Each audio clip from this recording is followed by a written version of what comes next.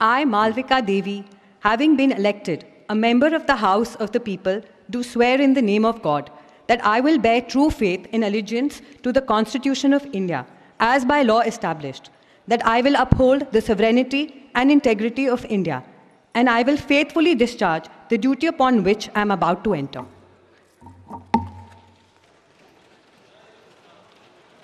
जय मां मानिकेश्वरी जय जगन्नाथ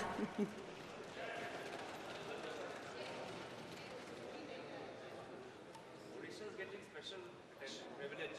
Sri Balabhadra Majhi.